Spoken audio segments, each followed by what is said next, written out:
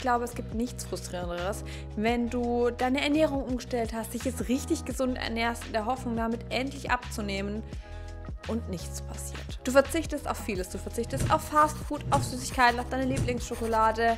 Aber alle Bemühungen bleiben umsonst. Und bevor du aufgibst, solltest du dieses Video schauen. Denn wahrscheinlich nutzt du einen oder sogar mehreren der entscheidenden Abnehmfaktoren nicht, weswegen es dir so schwer fällt, mit deiner gesunden Ernährung abzunehmen. Dabei ist es gar nicht notwendig, dass du irgendwie hungern musst oder dich auf winzige Diätportionen beschränken musst. Essen darf dir Spaß machen und kann dir trotzdem Erfolge bringen. Und wie du das umsetzen kannst, verrate ich dir jetzt. Ganz wichtiger Disclaimer noch zu Beginn. Niemand hat das Patent auf gesunde Ernährung. Selbst die Forschung streitet sich immer noch darüber, was jetzt gesund ist und was nicht. In diesem Video geht es um das Thema Abnehmen, Fettverlust. Und wir betrachten auch hier eine gesunde Ernährung unter dem Aspekt eines einfach einzuhaltenden Kaloriendefizits. Es geht nicht um eine gesunde Ernährung per se oder wie sie auszusehen hat oder nicht auszusehen hat. Wenn du Fitness-Influencer fragst, ist eine gesunde Ernährung ganz einfach. Du brauchst einfach nur ein Kaloriendefizit und um das einzuhalten, sollst du dich einfach gesund ernähren. Ernährungsumstellung hin zur gesunden Ernährung. Und ähm, ja,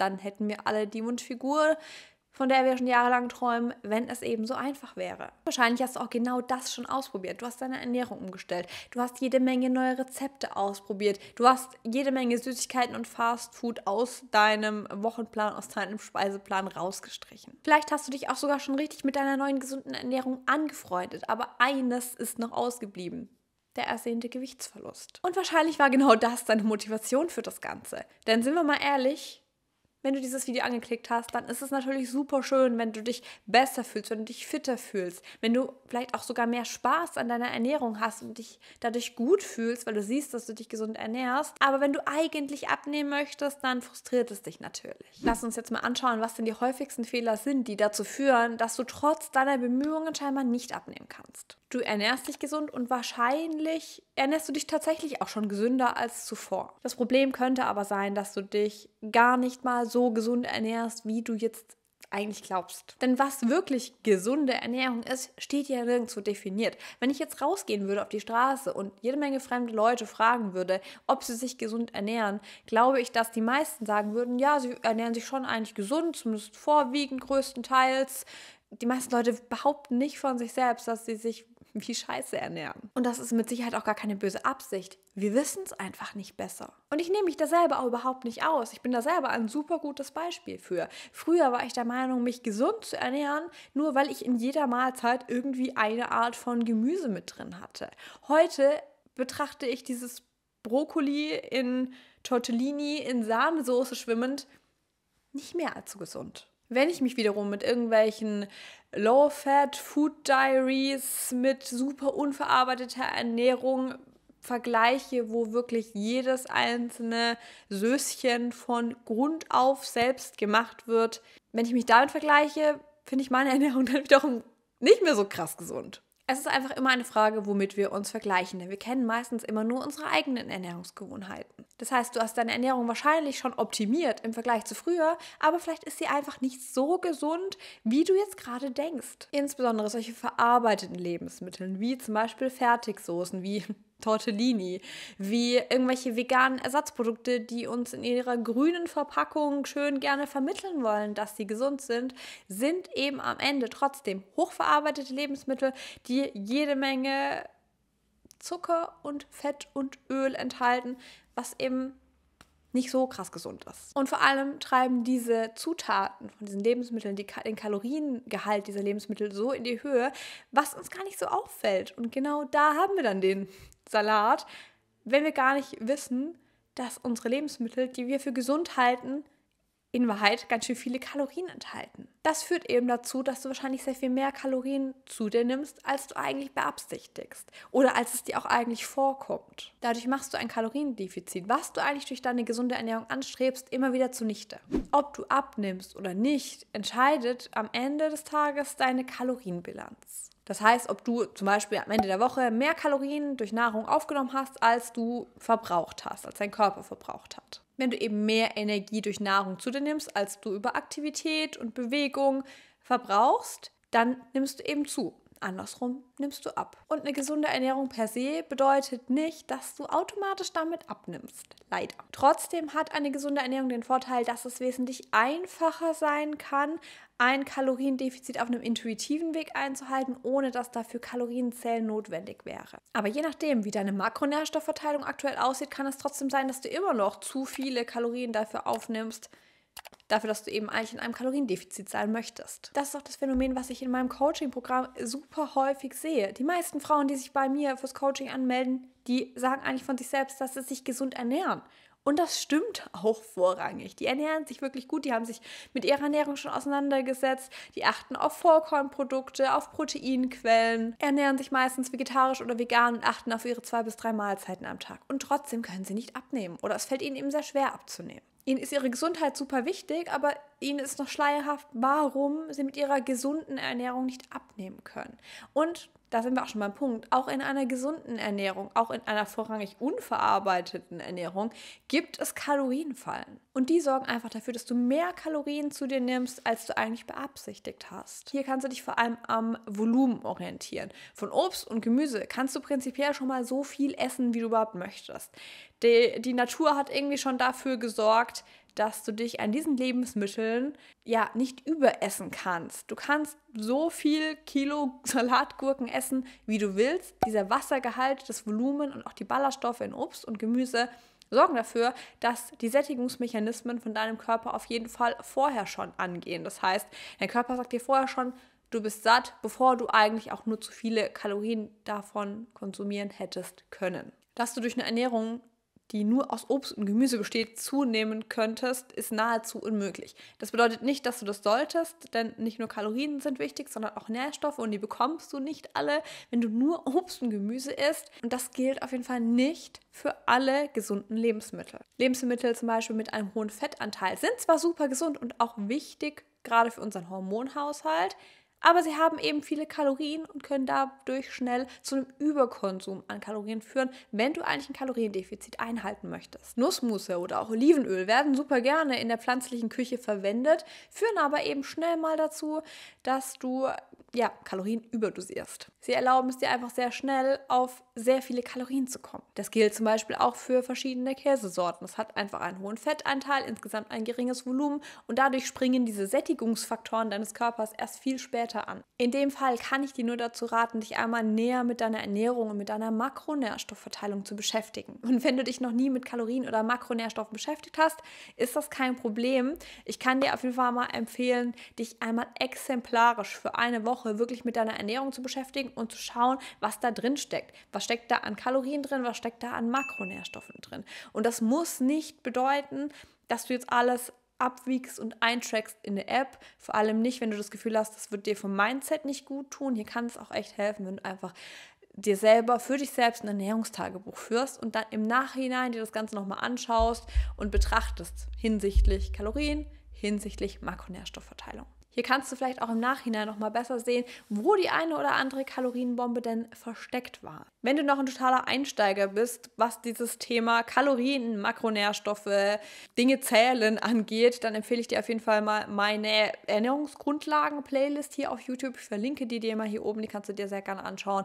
Ähm, findest du auch unten in der Infobox. Da erkläre ich dir ganz, ganz einfach, was du wissen musst zu den Themen, wie du Makronährstoff, deine Makronährstoffverteilung findest, was beim Kalorienzählen wichtig ist, was du unbedingt beachten solltest, wenn du das auf einem gesunden Weg tun möchtest. Im Übrigen soll das Ganze nicht heißen, dass du auf Nussmus oder auf Olivenöl verzichten musst, wenn du abnehmen möchtest. Nur, dass du dir eben darüber bewusst sein solltest, dass diese Lebensmittel eben sehr kaloriendicht sind und dass du auch dementsprechend mit ihnen umgehen solltest. Ein besonderer Punkt, der gerne mal übersehen wird, der dich vor allem betrifft, wenn du eine Frau bist und wenn du unter 1,70 oder ja, noch viel kleiner bist, ist ein geringer Grundumsatz und wie man damit umgeht, wenn man abnehmen möchte. Unsere Körper sind einfach kleiner und das bedeutet auch, dass diese Körper am Tag wesentlich weniger Kalorien verbrauchen als zum Beispiel Männerkörper. Das kann super frustrierend sein, wenn du abnehmen möchtest, weil es bedeutet, dass du deine Kalorienzufuhr am Tag noch genauer im Auge behalten müsstest. Und ich weiß, das klingt super unfair, wenn ich eben sage, dass du weniger essen kannst oder weniger essen musst,